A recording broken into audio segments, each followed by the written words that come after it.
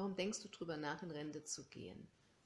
Hallo, ich grüße dich ganz herzlich. Endlich mit 63 in Rente gehen. Wartest du auch darauf?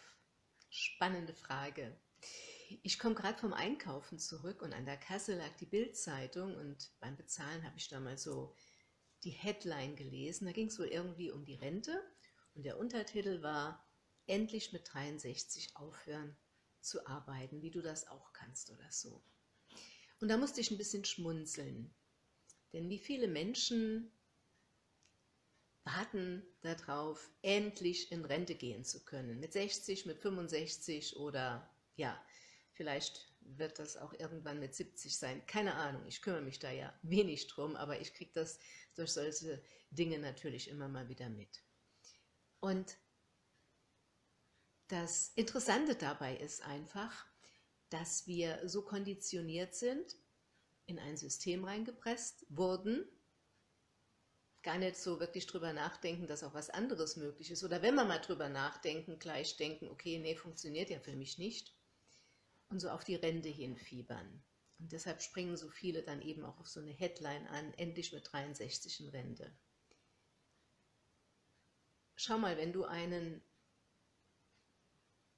Job hast, ich spreche jetzt bewusst von Job, warum werde ich auch gleich darauf eingehen, warum ich nicht das Wort Beruf wähle. Wenn du einen Job hast und drüber nachdenkst, mit 60, mit 63 in Rente zu gehen, warum machst du das? Warum denkst du drüber nach, in Rente zu gehen? Es ist doch dann eigentlich so, dass wir dann Dinge machen, die uns nicht wirklich erfüllen, die uns nicht glücklich machen, die uns nicht wirklich Energie schenken, die uns allenfalls zum Monatsende Summe X auf unser Konto bringen, um dann so für Monat für Monat in dieser gelebt werden Falle, in dieser Tretmühle drin zu sein. Und dann fiebern wir auf das Alter hin quasi, auf 60, auf 63, auf 65, um endlich dann in Rente zu gehen. Und dann, was ist dann? Was machen wir dann? Können wir dann die Dinge machen, die uns wirklich am Herzen liegen? Dann ist es doch oft so, und das kann man im Außen auch bei so vielen beobachten, das finde ich so traurig, deshalb möchte ich dich jetzt hier mal ein bisschen wachrütteln, dann ist die Rente da, aber dann ist der Energielevel schon so im Minusbereich, dass man dann a. nimmer wirklich aus gesundheitlichen Gründen schon die Dinge machen kann, die einem wirklich am Herzen liegen, weil man einfach gehandicapt ist, weil man jahrelang sich verbogen hat und sich selbst quasi vergewaltigt hat und so viel Zeit mit Dingen verbracht hat, die einem so viel Energie geraubt haben. Oder der zweite Grund ist, dass es dann einfach auch an Geld fehlt. An Geld fehlt, um sich das Leben so zu gestalten, wie es dem Herzen entspricht. Und jetzt komme ich auch zu dem Thema, warum ich jetzt bewusst das Wort Job gewählt habe und nicht von Beruf gesprochen habe. Denn in dem Beruf in dem Wörtchen Beruf, da steckt das Wörtchen Ruf drin. Ruf, dem Ruf der Seele zu folgen. Denn das ist doch eigentlich das, was den Beruf ausmacht. Ich fühle mich dazu berufen. Ich folge dem Ruf meiner Seele. Das ist nämlich etwas, was uns auch niemand beigebracht hat. Als wir, das fing schon in der Kinderstube an, da hat uns niemand gesagt, wenn wir mal groß geträumt haben, wenn alles für uns möglich war, wenn wir die Welt erobern wollten, folge dem Ruf deiner Seele, lausche auf die Botschaft, die in dir steckt, lausche auf diese leise Botschaft, die dein Herz, deine Seele dir schicken und folge dann dem Ruf deiner Seele und vertraue dir selbst. Mach das, was, da, was dir am Herzen liegt, warum du hierher auf diese Mutter Erde gekommen bist, warum du im jetzigen Körper inkarniert hast, um es spirituell auszudrücken. Das macht doch letzten Endes den Beruf aus. Ich fühle mich dazu berufen. Wir haben was anderes gelernt. Wir haben gelernt, uns in ein System zu pressen, möglichst guten Schulabschluss zu machen, dann zu studieren, des Studierenswillens, um irgendwas in der Hand zu haben, oder eine Ausbildung zu machen, um da irgendwas in der Hand zu haben und haben dann einfach gelernt, uns mit irgendeinem Beruf zu arrangieren vermeintlich Beruf.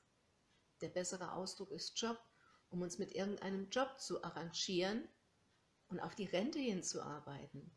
Schau mal, wenn du die Dinge machst, die dir Energie schenken, die dir Freude bereiten, die dir helfen, deine Gesundheit somit, weil sie dir eben Energie schenken, natürlich auch auf einem hohen Level zu halten, dass du dich fit, hellwach fühlst, dass es deinem Körper, dass es dir gut geht, dass es deiner Familie gut geht, dass es in deiner Partnerschaft auch gut geht, weil du einfach gut gelaunt bist, weil du die Dinge machst, die dir Freude bereiten. Da gibt es auch keinen Grund, in Streit mit den Kindern oder mit dem Partner einfach zu geraten. Wenn es dir gut geht, dann geht es auch der Familie gut.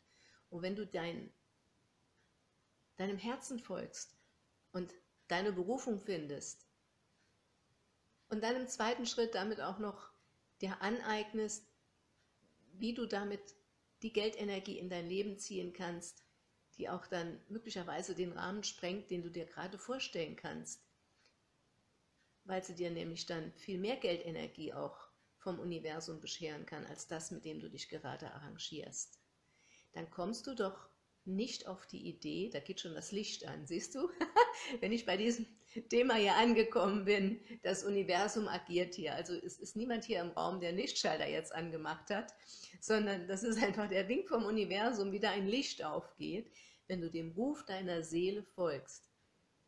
Dann kommt doch niemand von uns auf die Idee, mit 63 zu denken, ich höre jetzt auf damit. Weil das macht dir doch Freude. Warum Warum solltest du auf die Idee kommen mit etwas, was dir Freude macht, was dich morgens hellwach aus dem Bett hüpfen lässt, weil du genau weißt, du machst heute die Dinge, die dir Freude bereiten. Warum solltest du dann auf die Idee kommen, mit 63 damit aufzuhören?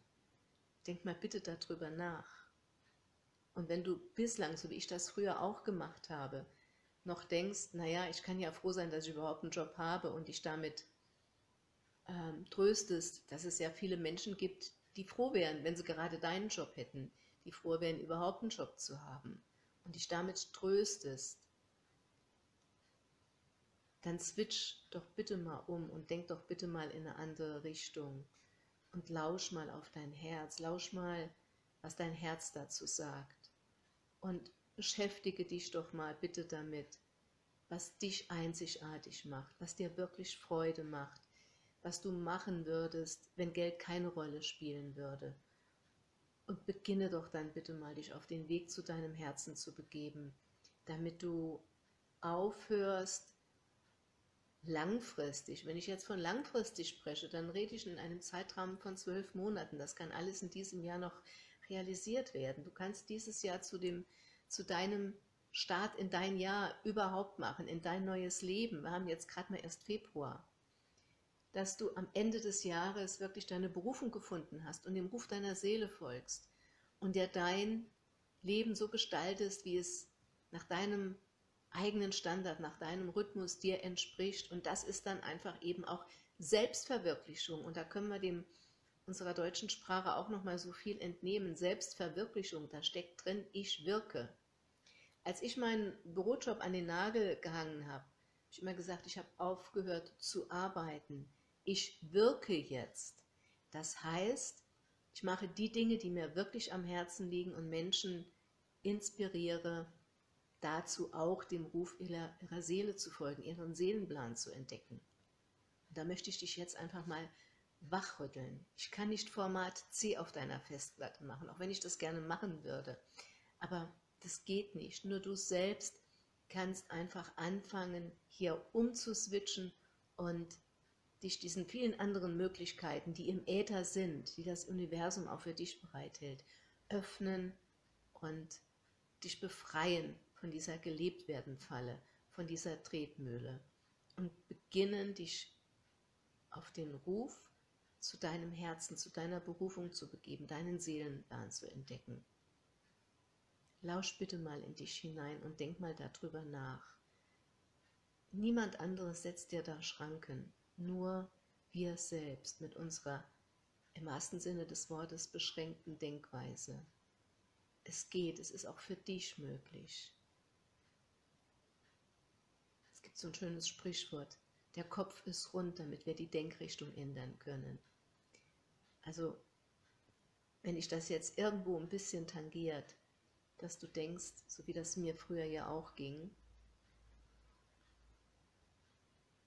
ich mache das jetzt wirklich nur, weil es mir Summe X am Monat auf mein Konto bringt, dann fang mal an, drüber nachzudenken, was würdest du eigentlich machen, wenn Summe X automatisch immer auf deinem Konto erscheinen würde. Das heißt nicht, dass du aufhörst zu arbeiten, sondern dass du dich selbst verwirklichst.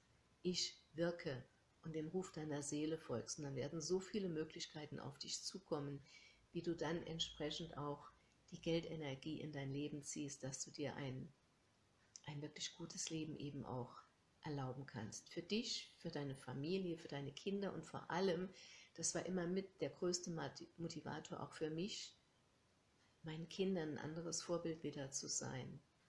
Weil ich natürlich auch gemerkt habe, wie sie Prägungen von mir auch schon aufgenommen haben aus meinem früheren Leben. Und vielleicht ist das auch für dich mit ein Motivator, deinen Kindern auch was anderes noch mit auf den Weg zu geben und ihnen zu zeigen, du als Vorbild, hey, es geht auch anders.